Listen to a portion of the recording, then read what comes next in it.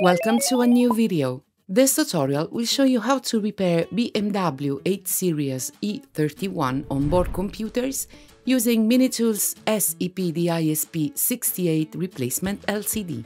For this repair you will need the following tools. Position the module as shown and with the pointed edge of the pry tool, act on the plastic clips and remove the rear cover.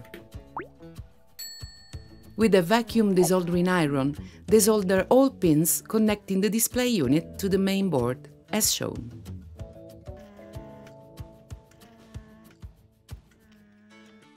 With the head of the Minitools tool, check if the pins were desoldered properly and undo the two Phillips head screws with a screwdriver.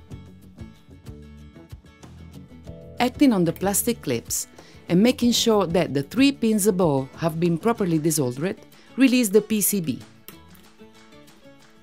With the flat tip probe and the pry tool, take the display unit out of the front cover. Undo and remove the front frame as shown.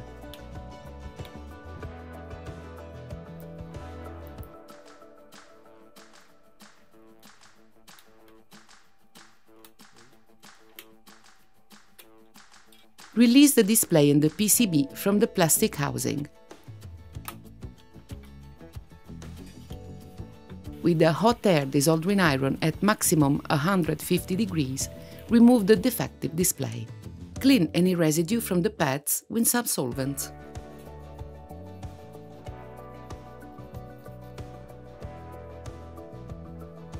Position the Minitools display as shown and secure it on the board with two pieces of Kapton tape. With a soldering iron with T-tip at 350 degrees, press several times along the flat cable to seal it on the circuit. Remove the Kapton tape and complete the sealing. Fasten the PCB and the display to the plastic housing.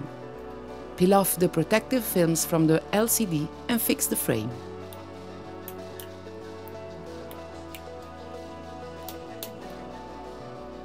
Put back the display unit into the front cover and reconnect the main board, paying attention to the pins as shown.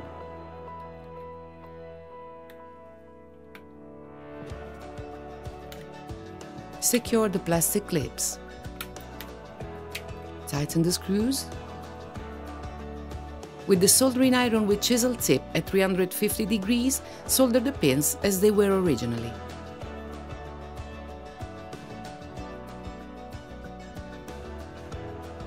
Put back the rear cover. Perfetto, problem solved. Thank you for choosing Minitools.